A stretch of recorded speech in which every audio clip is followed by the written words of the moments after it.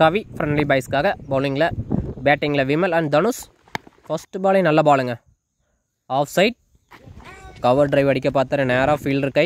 அங்கே ஃபீல்டர் இல்லை ராஜ். ஃபர்ஸ்ட் பாலே ஒரு டாட் செகண்ட் பால் ஓ பார்த்து விளையாடணுங்க. தலையில் பட்டு போயிடுது அதுவும் பேக் சைட் தலையிலேயே.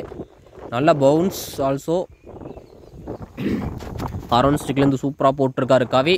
தேர்டு பால் ஓ நல்ல பாலுங்க நல்ல பாலுங்க இந்த பாலெல்லாம் இன்டர்நேஷ்னல் மேட்ச்சில் நிறையா பார்த்துருப்போம். நிறைய குயிக் பவுன்சர்ஸ் வரும். அந்த மாதிரி ஒரு பால் நல்ல பால் நல்லா டெலிவரி பண்ணியிருக்காரு. அடுத்த பால் உள்ளே கொண்டு வந்தாருங்க.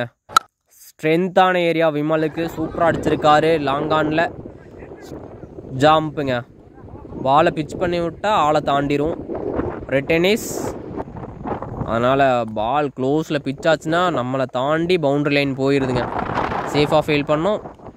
நல்ல பால் ஆனால் வைடு போயிருக்குங்க. அரவுண்ட்லேருந்து ரொம்ப ஃபாஸ்ட்டாக அழுத்திட்டாரு. வைடு பால் அதற்கான ரீபால் இங்கே ஒரு லீடிங் ஏஜ் ஹேண்டில் கிட்ட பட்டு போயிருக்குங்க. கேட்ச் பிடிப்பாங்களா? ஃபீல்டர் லாங்கில் இருக்காங்க. அதனால் சேஃபாக லேண்ட் ஆகிருக்கு ஒரு குயிக் சிங்கிள் ஆல்சோ இங்கே. ரெண்டு லைஃப் ஆயிடுச்சு விமல் ப்ரோக்கு இந்த மேட்ச்சில் Dhanush straight அடிச்சிருக்காருங்க. Straight to the fielder single தான் கிடைக்கும்னு நினைக்கிறேன். சிங்கிள் தான் கிடச்சிருக்கு. அதோட இந்த ஓவர் எண்ட் ஆகுதுங்க. நல்லா ஓவர் கவிக்கிட்டு இருந்துட்டு